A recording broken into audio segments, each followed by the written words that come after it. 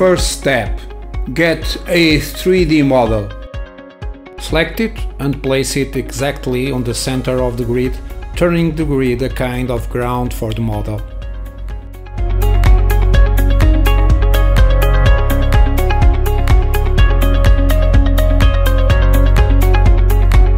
Cursor must be in the grid center.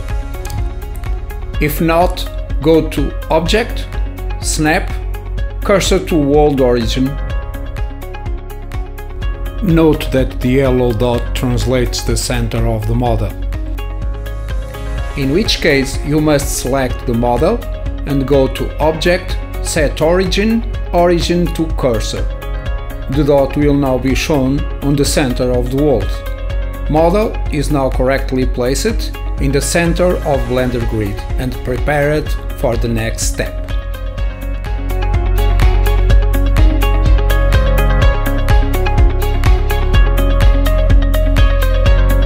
Open UV Editing Workspace. If the model was built in this version of Blender, it was probably unwrapped. But if it was imported, it may not have any UV map. In this case, press A key to select all vertices, followed by U key to open the options and choose among different ways of doing that.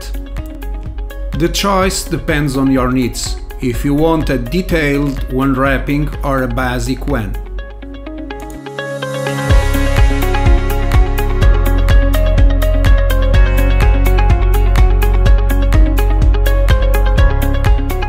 Select Layout Workspace again, use Viewport Shading, select Model, press Material Properties tab.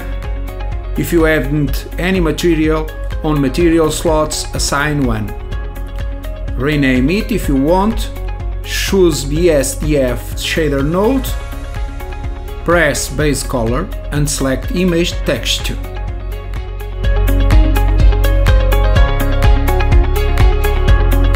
Get your image from the directory where you place it.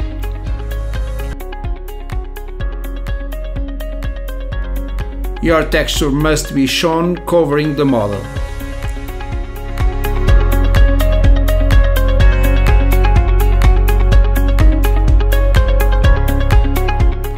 To export, select Model, go to File, Export, ASE Exporter, leave choices on add-on tab as they are, play with size according to your needs, click export. It can take a while depending of your mesh size. The process is now finished.